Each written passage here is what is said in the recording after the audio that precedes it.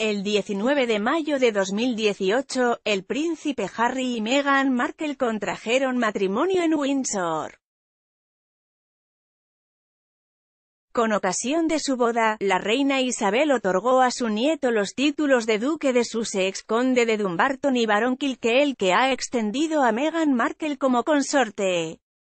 Ambos son conocidos desde entonces como los duques de Sussex, y si cada aparición pública de ambos genera mucha expectación, esta de multiplicó con motivo de su primera visita al lugar del que son duques.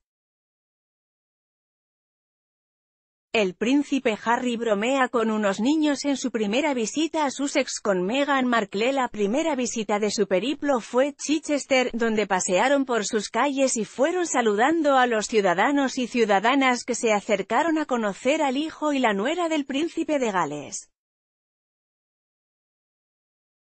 La pareja se entretuvo principalmente con los niños allí presentes, así como con algunos perros que estaban junto a sus dueños, y que hicieron las delicias de la pareja real que es muy amante de los canes. Encantados en su sex había muchos niños tantos que el príncipe Harry quiso saber si se habían saltado las clases para recibirles. Como señala Daily Mail, un grupo de escolares de la Westbourne House School confesaron que se habían saltado la clase de latín para ver en persona a los duques de Sussex. Ante semejantes palabras, el duque de Sussex chocó la mano con el chico en plan de broma, pero después le dijo que era importante que fueran al colegio y estudiaran. De todos modos, los niños tenían permiso, ya que su profesora estaba presente y se emocionó tanto al conocer al nieto de la reina Isabel que no le quería dejar marchar.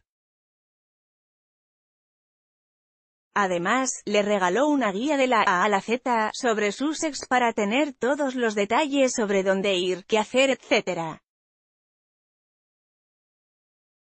Es posible que la utilicen si vuelven a título personal, ya que en esta visita oficial estaba todo medido. Más tarde aparecieron en Edes House, donde se encuentra una copia manuscrita de la Declaración de Independencia de los Estados Unidos, mientras que la otra está en el Museo de los Archivos Nacionales de Washington. Esta copia, llamada Declaración de Sussex probablemente emocionó a Meghan Markle, de nacionalidad estadounidense. Meghan Markle con unos niños en su primera visita oficial a Sussex de allí han viajado a Brighton, capital gay de Reino Unido, donde han paseado por el Royal Pavilion, construido por el rey Jorge IV en los años 80 del siglo XVIII y que ha gustado mucho a los duques de Sussex. Posteriormente se han acercado a conocer a las personas que trabajan en Survivors Network, entidad que apoya a las víctimas de abusos sexuales. Para terminar, se han trasladado a Peacehaven para visitar el centro juvenil JOFF, donde se trabaja en favor de la salud mental, algo en lo que los príncipes Guillermo y Harry y sus consortes están volcados a través de la Royal Foundation.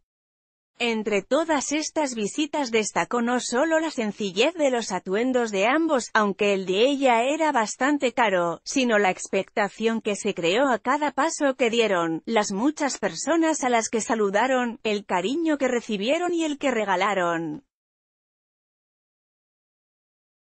Además, los duques de Sussex demostraron gran complicidad y pasearon cogidos de la mano en diversas ocasiones.